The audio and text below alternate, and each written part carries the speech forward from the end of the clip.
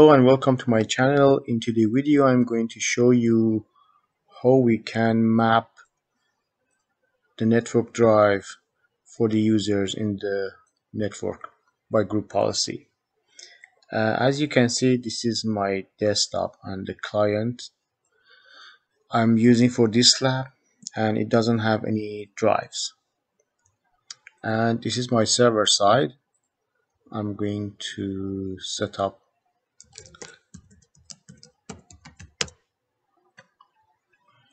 okay I already create a folder in my C drive and I have two folder inside that just as a sample documents and programs. Now I need to map this folder as a data to the users. For this case we need to share the folder first for the users. Now I'm going to into the Active Directory. And in my Active Directory I, I have created an organization unit. I can call it resources. This is my computer and this this is the users. For the for the shared drive we need to have a permissions so in this case I'm going to create a group. This is the right right way to implement in the big networks. So I'm going to create a group a security group uh, and call it like map drive permission and I'm going to here members and I will add that user I just created before. My user is admin tips. This is the right way to handle and manage the security. Okay I will go back to my file here and share it. Right click properties sharing advanced sharing click on the share this folder and the permissions. I can remove this one and use my uh, map drive permission group. Map drive permission group and I will just give it modify apply okay the share permissions is I forget to add it. I can just add everyone.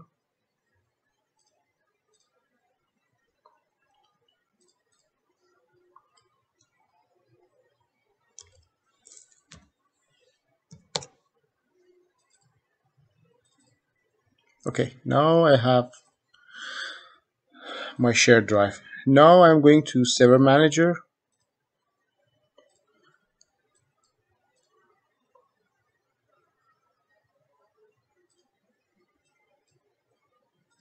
I will go to group policy management.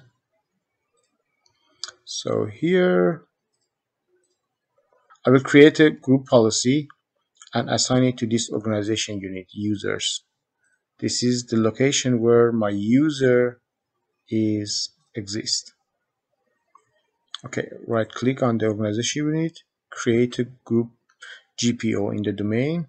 I call it map drive. Click OK. Now I need to go right click and go to edit. The map drive is assigned to the users. So I need to go to the users. Go to preference open the Windows settings and map drive. So as you can see you can right click new and choose map drive. Okay so this is the first time I am choosing the create. The location should be like this. I need to find the shared location in the network. So this is the shared location this is the location of my file and this is the shared location. Dc1 data. So I just copy the path and put it here. So we need to check this one reconnect because sometimes it get disconnected. I will label this one as a data and I will choose a drive letter from here. So I will call it for example P drive. Okay I will choose show the drives and apply. Okay now I will go back to my client side and I will do a GP update.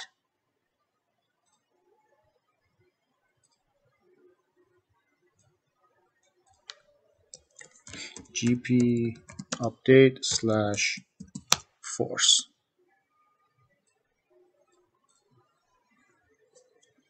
Okay, see, as you can see, my map drive is just started to show up and the policy are updated now. Okay, I have a map drive. I can create uh, something like a test and I will go back to my server side and show you the file. So as you can see, the, the map drive is created and it's working.